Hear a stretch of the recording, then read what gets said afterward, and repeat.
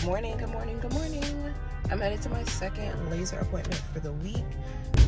I was initially supposed to be doing all of my laser hair treatments in one day.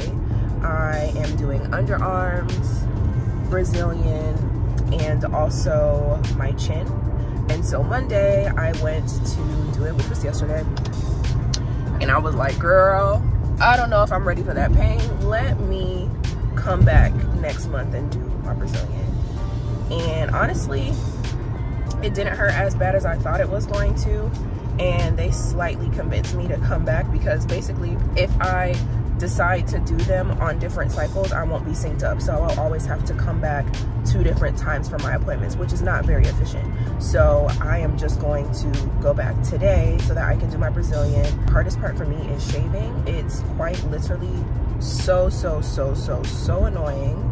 And I managed to get through it. Um, so yeah, we'll we'll see how this how this goes. The reason why I say yesterday was not too bad is because they have uh, like cryotherapy or something like that.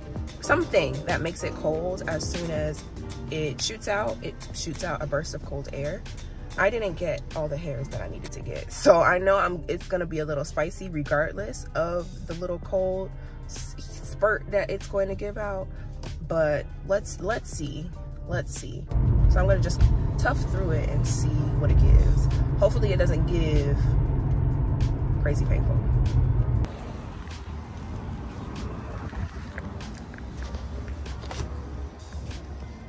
Hello. Mm-hmm. I mean, I feel like the worst part is over. I think, unless you're going back.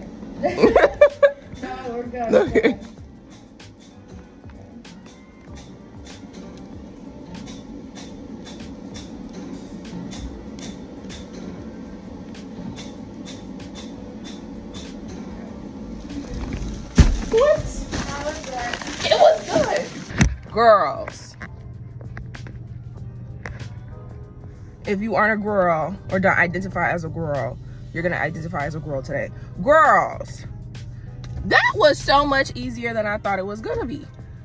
I'm shocked. It literally took maybe five minutes or less. We'll see what the lick read when my hair start growing back to like for sure, for sure know if she's working and doing what she needs to do but like i'm really shocked. Like the inners i thought was going to be the most painful part.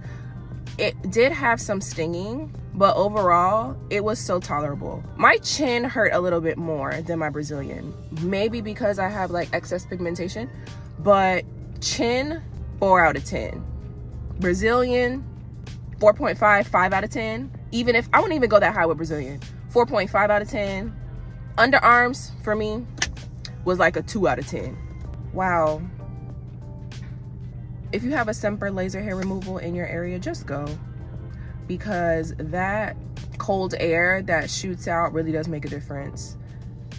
Laser was so much more uncomfortable when I was doing it and it did not have that. That cold air that shoots out makes so much of a difference. Pain who? Pain where? Pain why? I'm shocked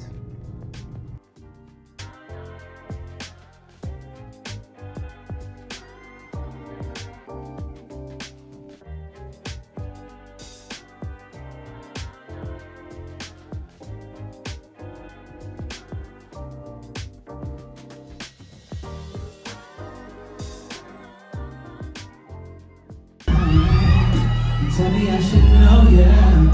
I get to know you again. Last tour, we kept seeing DM after DM after comment after comment, like, what about Florida? I'm like, I got you. I got you. We're gonna figure it out. So tonight, I want this to be special. I want this, this isn't gonna be like a regular dvsn concert. If you want conversations in a diner, make some noise right now. If you want POV, make some noise right now.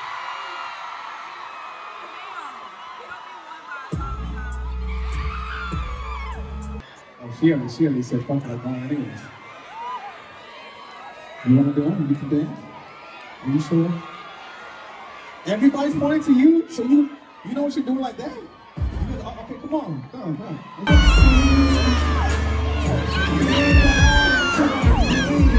We appreciate you guys, and I don't know how we're not gonna come back here, so we're gonna have to make a point and get back here ASAP. Right? we always come back to you. I know it is love. Left dvsn and it was good. How'd you feel? I feel cold. It is very cold. Oh, dvsn, dvsn, dvsn. Daniel in Nineteen85. I don't know what his government name is, but it was a really good show.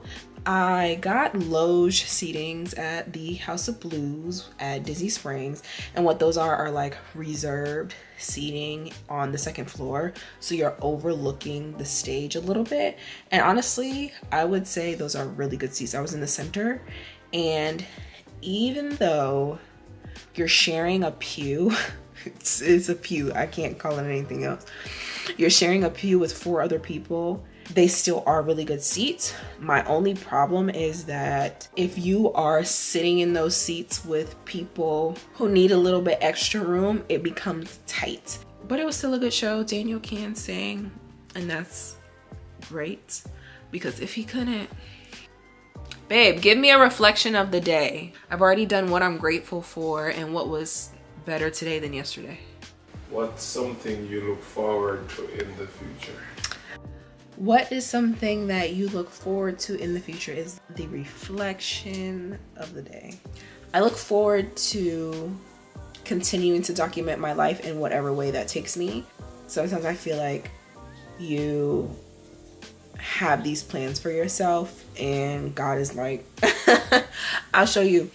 So I'm looking forward to documenting my journey in whatever way that looks like and just honoring my journey, honoring my path, and just being authentic in it. So aside from seeing my future as a mom, a wife, um, a better friend, a better sibling, a better daughter, I look forward to seeing just where my life takes me. So if you would like to answer the reflection of the day, feel free to do so.